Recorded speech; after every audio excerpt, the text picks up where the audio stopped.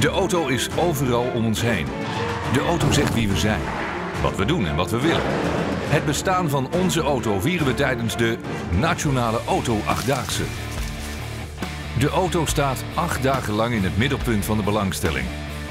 Met de Telegraaf Mediagroep als uw partner om Nederland naar de showroom te krijgen. Met aandacht via de krant. Autovisie. Radio. Wil je weten waar je moet zijn? Check auto8daagse.nl. TV. En de verschillende websites.